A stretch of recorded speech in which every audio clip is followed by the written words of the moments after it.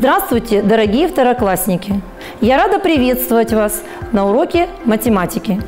Тема сегодняшнего урока – решение примеров и задач. Сегодня на уроке мы с вами должны закрепить умение решать примеры и задачи на умножение и деление. Для того, чтобы выполнить все задания нашего урока, вам потребуется знание таблицы умножения и деления на 2. Ну а сейчас давайте с вами поиграем. Помогите, пожалуйста, бабочкам найти каждый свой цветок. Для этого вы должны решить примеры, которые вы видите на цветках. Начнем игру. 10 разделить на 2, 2 умножить на 3, 18 разделить на 2, 2 умножить на 7, 2 умножить на 4. Получилось? Давайте проверим, каждая ли бабочка нашла свой цветок. 10 разделить на 2 получается 5. 2 умножить на 7 получается 14. 2 умножить на 3 получается 6. 18 разделить на 2 получается 9. И 2 умножить на 4 получается 8. Молодцы! Вы помогли бабочкам, а вам помогла таблица умножения и деления на 2. Для того, чтобы решить следующее задание, вам нужно, ребята, вспомнить, как называются числа при умножении. Вспомнили? Первый множитель, второй множитель, произведение. Определение, делимое, делитель, частное. Сейчас вам нужно составить примеры и их решить. Первый множитель 2, второй множитель 6. Найдите произведение. 2 умножить на 6 получается 12. Делимое 10. Делитель 2. Найдите частное. Подумайте. 10 разделить на 2 получается 5. Найдите произведение чисел 2 и 9. Что значит произведение? Это значит умножить. 2 умножить на 9 получается 18. Найдите частное чисел 14 и 2. Частное – это разделить. 14 разделить на 2 получается 7. Молодцы, ребята! Вы замечательно справились с этим заданием. А сейчас я предлагаю вам решить задачу номер один на странице 85 нашего учебника математики. Прочитайте, пожалуйста, задачу. Для ремонта купили 8 банок краски, по 2 килограмма в каждой. Сколько килограммов краски купили? Составь и реши две задачи, обратные данной. Подумайте, скажите, ребята, что известно в этой задаче? Правильно. Известно, что купили 8 банок краски по 2 килограмма в каждой. А что нужно найти? Верно. Нужно узнать, сколько килограммов краски всего купили для ремонта. Давайте с вами сделаем схематический рисунок, который поможет нам выбрать действия для решения этой задачи. Итак, вы уже, наверное, догадались, каким действием мы будем решать эту задачу. Правильно, нам поможет действие умножения. Давайте запишем решение задачи. 2 умножить на 8 получается 16. Ответ. 16 килограммов краски купили для ремонта. А сейчас, ребята, Давайте составим с вами обратные задачи. На прошлом уроке мы с вами учились составлять обратные задачи. Давайте вспомним еще раз, какие задачи называются обратные. Вспомнили? Обратные – это такие задачи, в которых известные числа становятся неизвестными. Итак, составляем первую обратную задачу. Для ремонта купили 16 килограммов краски в банках по 2 килограмма каждая. Сколько банок краски купили? Подумайте, как мы решим эту задачу? Верно. Для этого нужно 16 разделить на 2, получается 8 банок. Итак, 8 банок купили краски для ремонта. Составляем вторую обратную задачу. Для ремонта купили 8 банок краски. Всего 16 килограммов. Сколько килограммов краски было в каждой банке? Проверяем ваше решение. 16 разделить на 8 получается 2. 2 килограмма краски было в каждой банке. Молодцы! Вы вспомнили и правильно составили, а также решили обратные задачи. А сейчас предлагаю вам рассмотреть э, таблицу в задании номер 5 на странице 85. Подумайте, какое правило поможет заполнить пропуски в этой таблице? Верно, это правило нахождения неизвестного множителя. Давайте внимательно посмотрим на таблицу.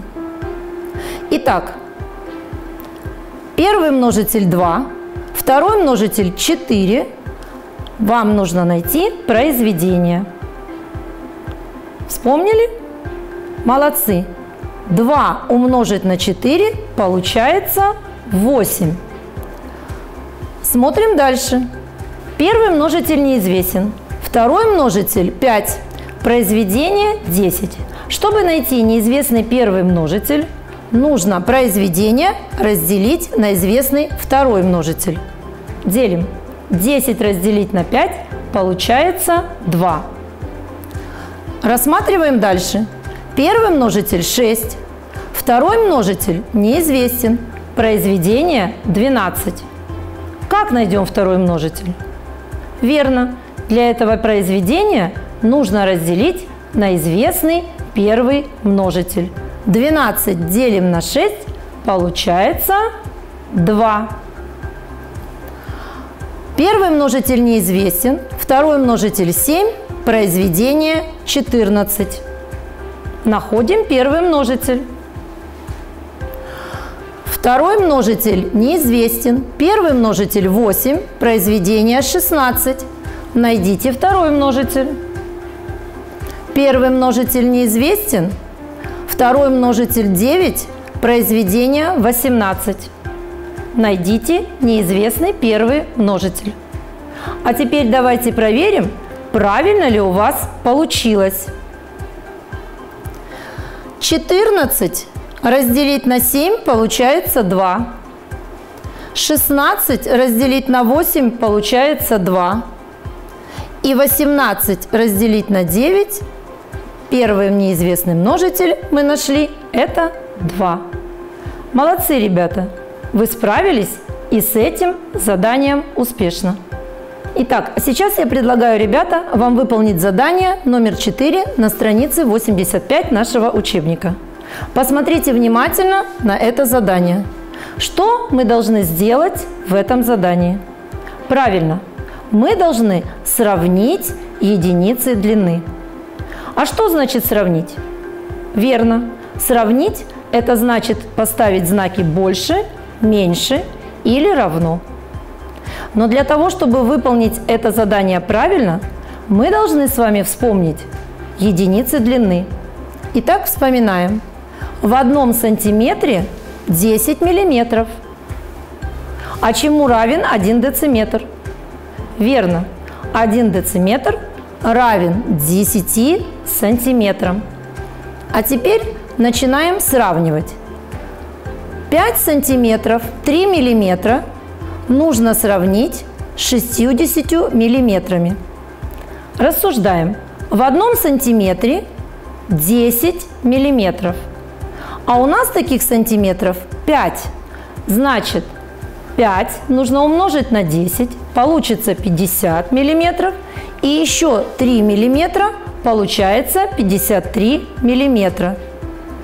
Итак, 53 миллиметра меньше, чем 60 миллиметров. Решаем следующий пример. 8 дециметров 4 сантиметра сравниваем с числом 82 сантиметра. Рассуждаем. В одном дециметре 10 сантиметров. У нас дециметров 8. Значит, 8 умножаем на 10, получается 80. 80 сантиметров. И еще 4 сантиметра – 84 сантиметра. Сравниваем. 84 сантиметра больше, чем 82 сантиметра. Аналогично сравниваем числа во втором столбике. 6 сантиметров 9 миллиметров и 69 миллиметров. 6 сантиметров 9 миллиметров переводим в миллиметры. Получается 69 миллиметров и 69 миллиметров. Догадались, какой знак нам надо поставить? Верно, знак равно. 3 дециметра 2 сантиметра сравниваем с числом 23 сантиметра. 3 дециметра 2 сантиметра это 32 сантиметра, а 32 сантиметра больше, чем 23 сантиметра. Давайте посмотрим еще раз, как нужно правильно записать решение этих примеров.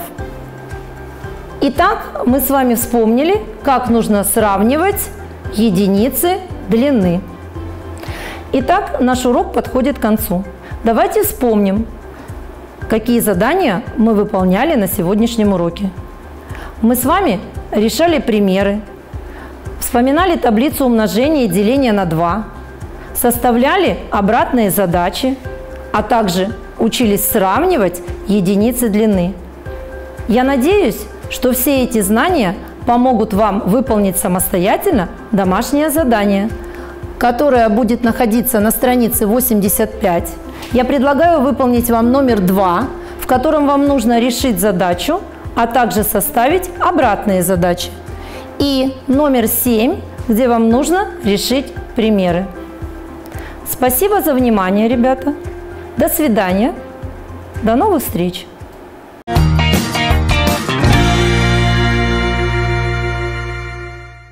Здравствуйте, ребята! Мы начинаем урок русского языка во втором классе. Пусть этот день несет нам радость общения, наполнит сердце благородными чувствами. Тема нашего урока единственное и множественное число глаголов закрепление. Сегодня на уроке мы закрепим единственное и множественное число глаголов. Давайте вспомним, а что же такое глагол? Глагол – это часть речи, которая обозначает действие предмета и отвечает на вопросы, что делать, что сделать, глагол в единственном числе обозначает действие одного предмета, а глагол во множественном числе обозначает действие двух или более предметов. Теперь рассмотрим примеры и вспомним, от чего зависит число глагола. Прочитайте предложение. Книга лежит. Что книга? Книга что делает? Лежит. Глагол лежит обозначает действие одного предмета. Это форма единственного числа. Прочитайте предложение. Книги лежат. Что книги? Книги что делают? Лежат. Глагол лежат обозначает действие многих предметов. Это форма множественного числа. Делаем вывод. Число глагола зависит от числа имени существительного, с которым глагол связан. А сейчас выполним интересное задание. Прочитаем предложения, изменим форму единственного числа на форму множественного числа. Утка кричит, дятел стучит, собака молчит, мороз трещит, ворона кричит. Выполним проверку. Утки кричат, дятлы стучат, собаки молчат, морозы трещат, вороны кричат. А сейчас выполним следующее задание. Распределим глаголы в два столбика. Форму единственного числа и форму множественного числа. Читают, бегает, ходили, прыгает, гремят, собирают, поет, купили, плавает, светит. Выполним проверку. Итак, первый столбик – единственное число. Бегает, прыгает, поет, плавает, светит. Множественное число. Читают, ходили, гремят, собирают, купили. А сейчас откройте учебник на странице 77. Выполните упражнение 133. Прочитайте, составьте предложение с каждым глаголом. Вопросы замените именами существительными. Запишите предложения. Кто надевает что? Кто одевает кого? Кто одевается сам, сама? Ребята, а кто знает, когда говорят одеть, а когда говорят надеть? Одевают кого-то, дочку, куклу. Надевают что-то, шапку, пальто. Выполним проверку. Ваня надевает куртку. Мама одевает Костю. Ваня одевается сам. А сейчас предлагаю прочитать веселое стихотворение. Восстановим смысл предложений, поставим слова на место, назовем глаголы, определим их число. Огурцы играют в прятки, малыши растут на грядке, мушкетеры спят во враге, поросята точат шпаги, раки в цирк бегут ватагой, дети дремлют под корягой, волки плавают по дну, щуки воют на луну. Выполним проверку. Малыши играют в прятки, огурцы растут на грядке, поросята спят во враге, мушкетеры точат шпаги, дети в цирк бегут ватагой, раки дремлют под корягой, щуки плавают по дну, волки воют на луну. Глаголы играют, растут, спят, точат, бегут, дремлют, плавают, воют, отвечают на вопрос, что делают, стоят в форме множественного числа. Угадаем предметы по их действиям.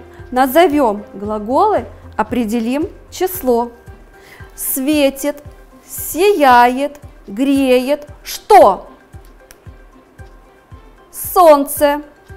светит, сияет, греет, отвечают на вопрос, что делает, стоят в форме единственного числа. Бегают, прыгают, лают. Кто? Собаки. Бегают, прыгают, лают. Глаголы стоят в форме множественного числа. Течет, журчит, льется. Что? Ручей. Течет, журчит, льется. Отвечают на вопросы, что делает, стоят в форме единственного числа. Итак, на уроке мы закрепили наши знания о глаголе и повторили, как определять число глаголов. Глагол – это часть речи, которая обозначает действие предмета и отвечает на вопросы, что делать, что сделать. Глагол в единственном числе обозначает действие одного предмета, а глагол во множественном числе обозначает действие двух или более предметов. А теперь мы переходим к домашнему заданию. Открыв учебник на страничке 76, вы увидите упражнение 131. И пользуясь теми зданиями, которые вы получили на уроке, вы выполните задание. Прочитайте выразительно, выпишите глаголы, определите число глаголов. До свидания!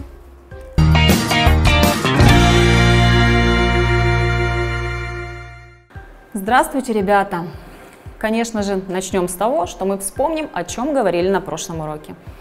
Мы узнали биографию Эдуарда Успенского, познакомились с рассказом «Чебурашка», а дома вы должны были внимательно прочитать этот рассказ и нарисовать иллюстрацию к нему. Надеюсь, у вас все получилось.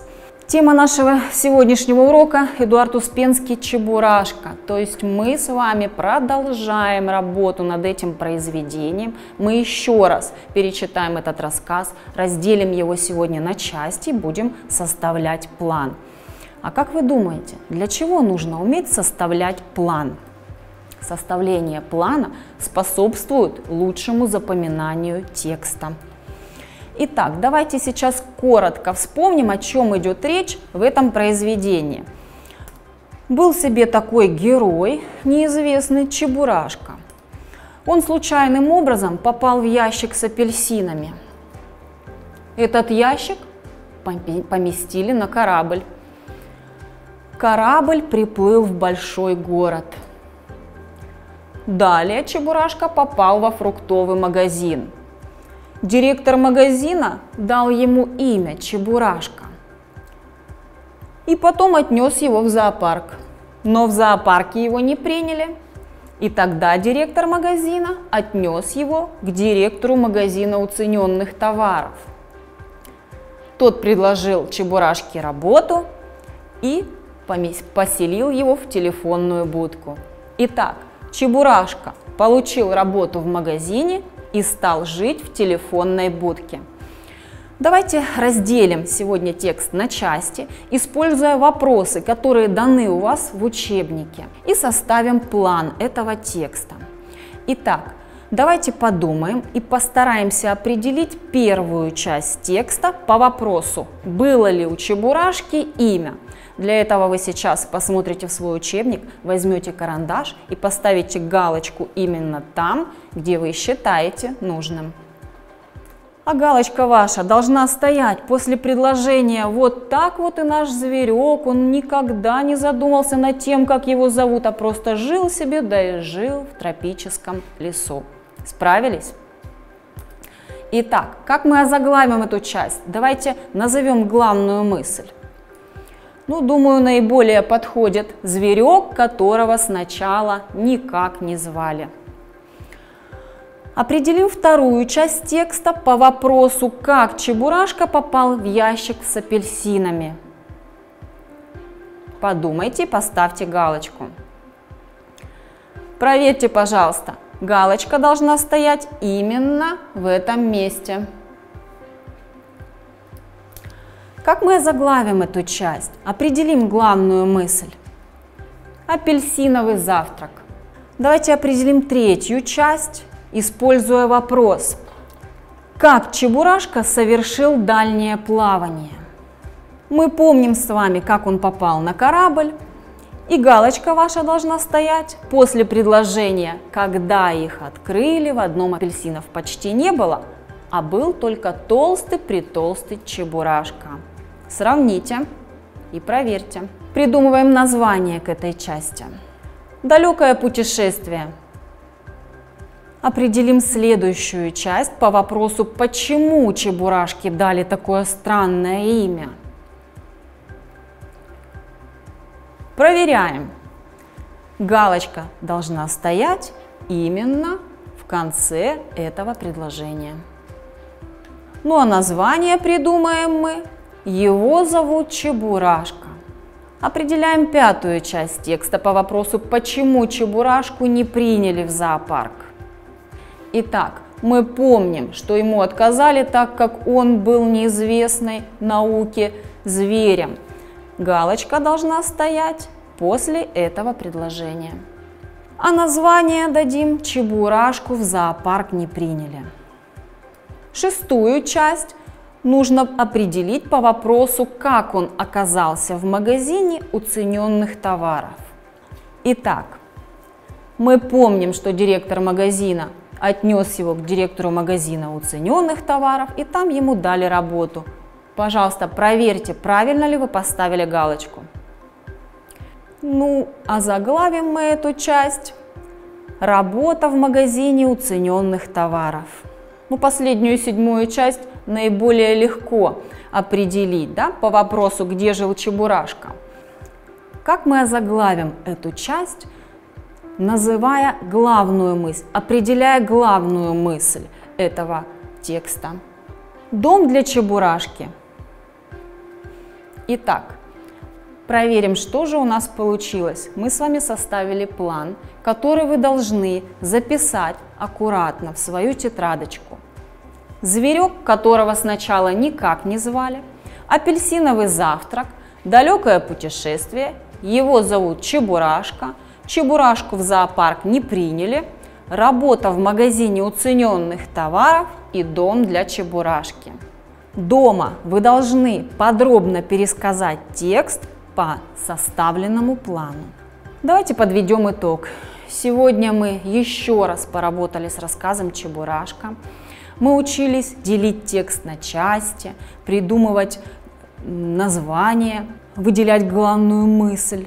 И вспомнили, для чего же все-таки нужно составлять план. Ну а мы с вами прощаемся на сегодня. До свидания.